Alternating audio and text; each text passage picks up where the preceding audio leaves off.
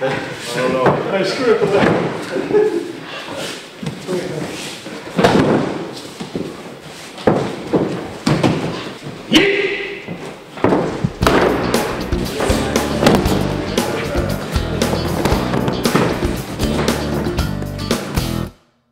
Aikido is a traditional Japanese martial art that roughly translates into the way of harmonious spirit. Aikido is considered more of a gentle martial art, so it's purely there for self-defense in a way in which the attacker sustains minimal injury. At the Long Island Aikikai, we offer instruction in Aikido and Iaido. In a typical Aikido class, you'll see a thrower and the person being thrown. The reason why throws are more prevalent in Aikido than some other martial arts is Aikido's roots are in samurai battlefield situations where you don't have one opponent, you have three or four opponents. So you can't be punching someone in the face while three people are attacking you from the side. Physical basics of Aikido is not to use too much muscle. I did a little research on different martial arts when I was old enough to afford to take a martial art and I liked the philosophies of Aikido. Once I joined and started practicing, it was kind of more like a family. Our chief instructor, Edward Hagihara, had the unique pleasure of studying directly under Morihei Ueshiba, the founder of Aikido.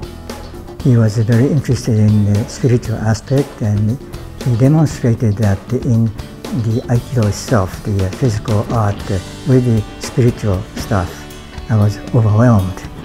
I feel that relaxation is most important and then centering. The centering is important because you can ignore the power that's applied to you. The thing I like about Aikido is it has something for everyone.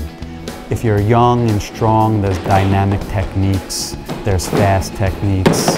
But then Aikido can also be very uh, tactical and practical martial art. So some of our older members can practice without fear of injury. They don't have to practice at the same speed that some of our younger members are interested in. Aikido is also physical fitness. So people that are just interested in getting in shape, there's something there for them. There's a lot of traditional Japanese etiquette that is ingrained in what we do at the Long Island Aikikai. From taking off our shoes before we get on the mat, bowing as we get on the mat, lining up and waiting for our instructor to open class. In 2014, the Long Island Aikikai is celebrating its 50th anniversary. Soon we hope to offer more than just Aikido classes and sword classes. We hope to offer other cultural classes as well, whether it be calligraphy or flower arrangement.